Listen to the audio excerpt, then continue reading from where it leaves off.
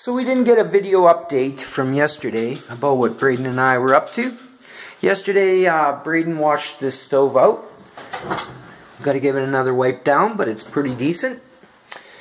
Um, we'll save that for tomorrow. We cleaned up a bunch, washed the floors in here, picked up the stuff. Braden did uh, just wash the floors down slowly. We're chipping at stuff. We took the graffiti off on the outside. Keep shaking that, Braden. Okay. And uh, now we're putting our boots on. We cleaned up all this. It was full of mud. Got rid of that. That was again Braden doing Jason's job. Jason, why can't you run a vacuum cleaner? Huh? Are you so high and mighty? Anyways, you guys can look back on the videos and um, there, we got a lot of this graffiti off. That was two days of treatments. Let the uh, dew do its thing in the morning to pop off more. But it's uh, coming along. Do you know, Jason, doing that, letting that happen to my house and not coming to do anything is real, real, real difficult. Like, real difficult to swallow. How many yards did we rake yesterday, Braden? Uh, seven. Seven yards we raked yesterday. We chipped at seven, and every day as it thaws, we have to go back to some of these because things are coming out. Uh, this morning we raked one. Okay, spray paint this. Okay, I stalled it. So, Braden's going to demonstrate to you, Jason, how to operate a can of spray paint. To It's called Kilz. See? Kilz. You buy this. This is our second can. Okay, and you can still see the graffiti a little bit under there.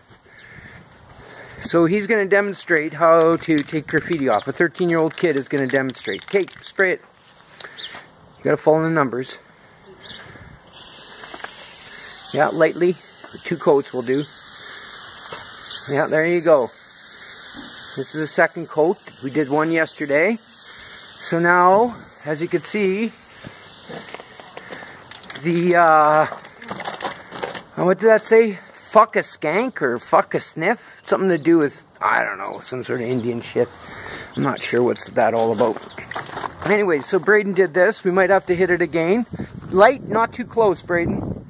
And, um, yeah. Yeah, that's a typical morning. We come around, we check the empty houses because we're required to check them. And, uh, yesterday we ran out of kind of Kilz here, so Braden's doing second coat out front, and coming here, we'll take this, care of this. And uh, so we got a 13-year-old kid that does adult's job. Jason, there's a coronavirus, there is no school, and I want a chance to be a dad. I've been asking you this for over four years. I want to be dad. Let me be dad for a while. Give us a day off.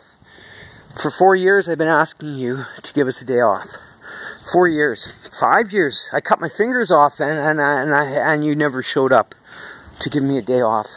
My kid was in foster care for a year, and I asked for a day off just so I can organize shit. Not one day did you show up. Not one day. Not one day. Like and then I get a message. I talk to another friend, a good friend today, and he says, Why are you hammering Jason every day? Well, I'm hammering Jason every day because enough is enough. I've, I've tried everything for more than one year. This is not a two year problem. This is a four or five year problem, Jason. Okay? You can't have us paying your mortgage because you guys live high on the hog. And yeah, eventually Kemco's going to be called because I need to have time off. You can't make me work every day for 16 years and never give any relief. Come on, Toddy, Marky. You know, your cottages, your your whole sports thing is a dud, a washout now. People are wise to it. Bread and circuses and all that crazy shit. But we take care of people. We're an essential service. Okay? We make a difference. Okay.